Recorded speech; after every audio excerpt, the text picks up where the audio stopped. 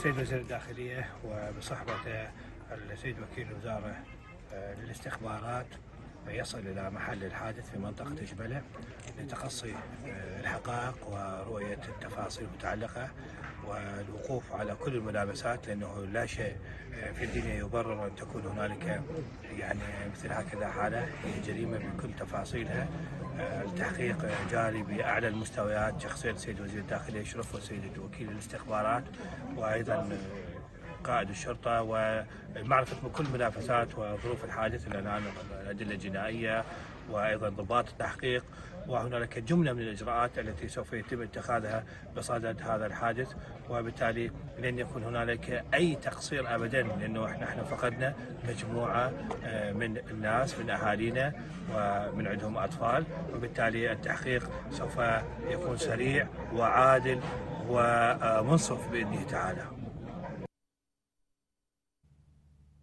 أثار حادث جبل شمال بابل الكثير من القضايا والتساؤلات الخطيرة خصوصا وأن الجريمة راح ضحيتها عشرين مدنيا بينهم أطفالا ونساء. تفاصيل أكثر في تقرير علياس خلافات عائلية تتحول إلى مجزرة إنسانية. راح ضحيتها قرابة العشرين مدنيا غالبيتهم من الأطفال والنساء. بعد أن استخدم أحدهم نفوذه واصطحب قوة أمنية دون أوامر قضائية. متهما المجني عليه بالإرهاب وإيواء إرهابيين وحيازة المخدرات. أهالي تلك المنطقة نفوا التهم المنسوبة للضحية وأكدوا بأن قوة أمنية طوقت المنزل وأبادت العائلة بأكملها دون معرفة الأسباب. لا والله مو هو القتل ويعز ولده ويعز بناته ويعز بناته تشلي بين ما يفارقن. ودى بناته والله هو جوز بناته بيده وتالي ما تلقى حكوا علي اخوتي يعز بناته ويعز اولاده وتالي ما تلعب ينشرون العاب يكتبون عليه أربع أرهاب؟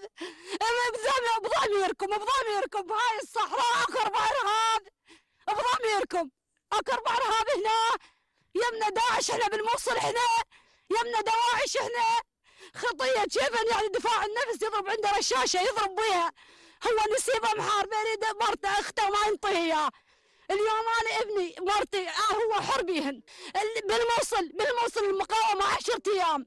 يخلص فشق ويطوقون البيت. ماكو بيوم وليلة يهدمون البيت على راسه. تقبلون هذا الشيء تقبلون عينه تقبلون هذا الشيء دقوا حاسبات والله هذا الولاد الشرطة قال دقوا حاسبات ببغداد الكاظم دزنا ودقوا حاسبة والله ما مطلوب والله ما مطلوب. لا أربع ارهاب ما مطلوب. ليش هيك؟ ليش؟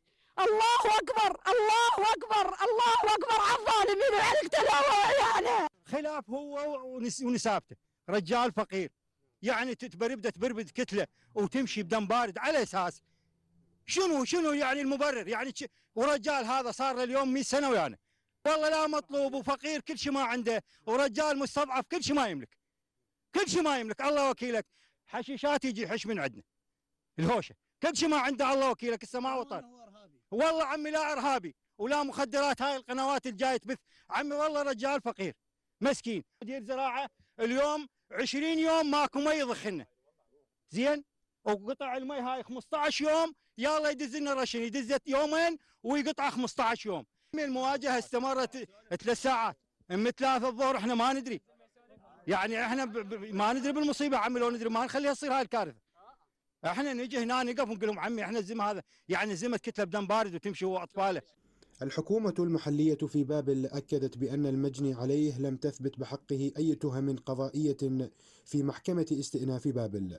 ما دعا بالجهات الأمنية العليا إلى تشكيل لجان تحقيقية عالية المستوى لمعرفة ملابسات الجريمة. سبب هذا الحادث بوفاة 20 شخص من عائلة واحدة الإجراءات التحقيقية آه، قائمة على قدم وساق وعلى مستويات عدة. السيد رئيس الوزراء وجه بتشكيل لجان تحقيقية. نحن في محافظة بابل أيضا وجهنا بتشكيل لجان تحقيقية متواجدين الآن في موقع الحادث. لا نريد أن نسبق الأحداث التحقيق سري. المجنى عليه آه، في محافظة بابل لا يوجد عليه أي مطلوبية وإنما كانت عليه سابقا آه، أمر قبض على أحكام ال 406 آه، في محافظة بابل لا يوجد عليه مؤشر آه، بل هنالك أمر قضائي من محافظة بغداد من محاكم بغداد حاولت قوات الشرطة أن تنفذ هذا الأمر في محافظة بابل من جلب أمر القبض هو من محافظة بغداد ضابط من محافظة بغداد من جهة أمنية قدم إلى محافظة بابل إلى كوثا مع قسم الاستخبارات في مديريه في آه، مديرية استخبارات بابل وحصل تبادل إطلاق النار وتفاجأت القوات الأمنية بعد الدخول إلى مقر الحادث بوجود آه، عدد من الضحايا في هذا المكان. وزير الداخلية عثمان الغانمي الذي وصل على رأس وفد أمني أوعز بتشكيل لجنة تحقيقية للوقوف على ملابسات الجريمة